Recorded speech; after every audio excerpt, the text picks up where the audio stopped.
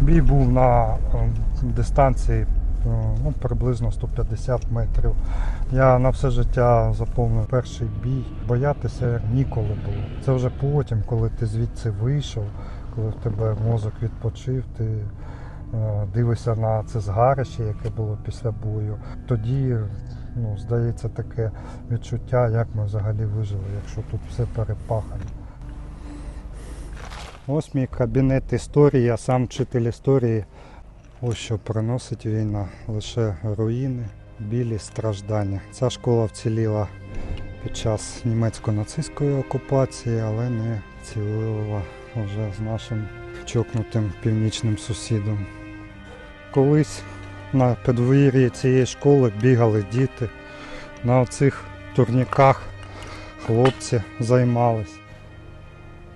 24 числа проснулися е, вночі і почули потужні вибухи. До територіальної оборони я пішов добровольцем, взяв зброю до рук, щоб її не взяли ті ж самі мої вихованці і мій син. Ну, Це зруйнована будівля, це якраз приміщення столової педагогічного університету. А ота п'ятиэтажка це гуртожиток дельфін, басейн наш. Йому більше, напевно, пощастило.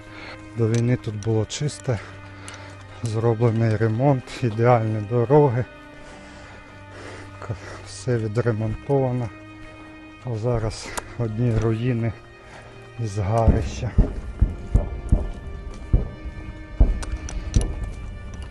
Чесно кажучи, я в шокі. Тому що я тут не був дуже довго. Переважно більшість свого часу я знаходжусь десь в посадках, на позиціях. Чинили супротив е, російській агресії е, на околицях нашого міста, от, на околицях міста Соледар. Чесно кажучи, я ще сам не розумію, чому я ще живий.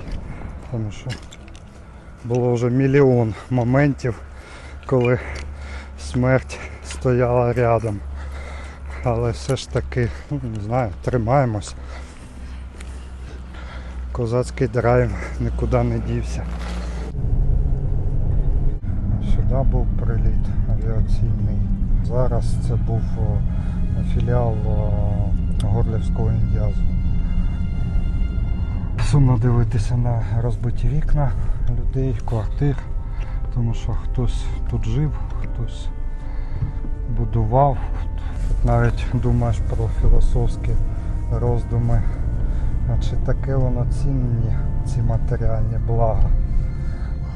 Як показала ця війна, найцінніше це людське життя. У мене згорів мій отчий дом. Знищена, в мене була велика пасіка. Тобто я ще був пасічником. Хобі в мене таке було. І все воно залишилось там. Міська лікарня, міський е, пологовий будинок обстріляний. Хоча це заборонено міжнародним гуманітарним правом. Ось також торговий комплекс був авіаційний прильот. Бачите, воронка була завглибшки 7 метрів. Це військові злочини. А для військових злочинів після нашої перемоги буде така ж сама Гаага і суд над військовими злочинцями.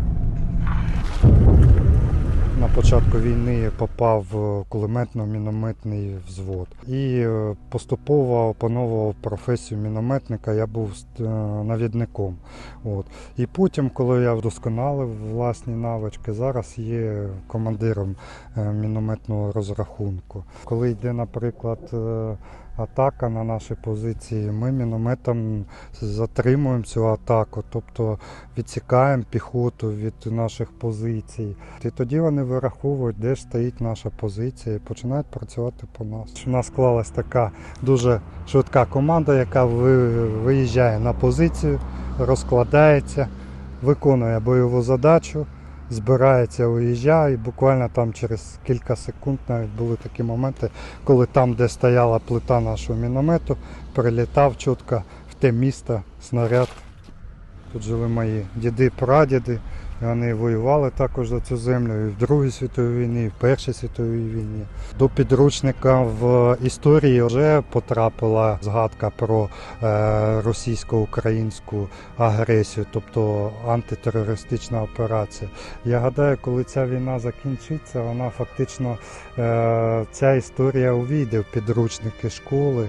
І головне дожити до цієї перемоги. А там я плекаю надію, що переглянуть ці всі моменти, переглянуть програму освітянську, і це було, буде яскравим прикладом того, що хто не корме свою армію, буде кормити ворожу, або буде все зруйновано.